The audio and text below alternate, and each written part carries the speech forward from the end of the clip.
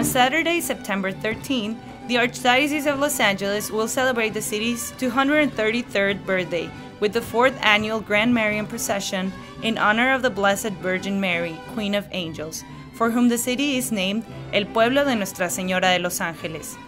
Join us and Archbishop Gomez starting at 3 p.m. for blessing and invocations at La Placita in El Pueblo Olvera Street, followed by a processional parade highlighted with banners, flags, color guards, and bagpipers.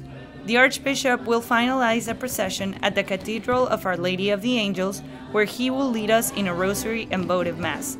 For more information, please visit www.thequeenofangels.com or on Facebook at www.facebook.com slash Queen of Angels Foundation.